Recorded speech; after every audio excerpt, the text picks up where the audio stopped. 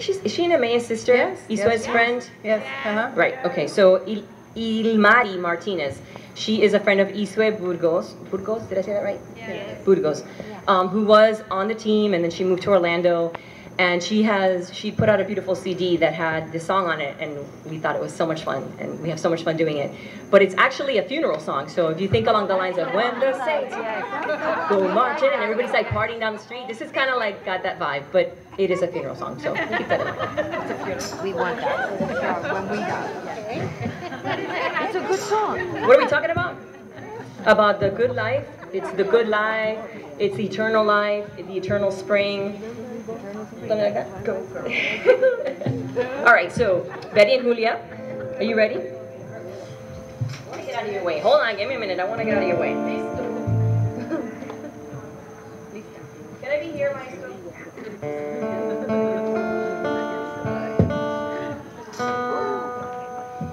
I just want you to see her. See them.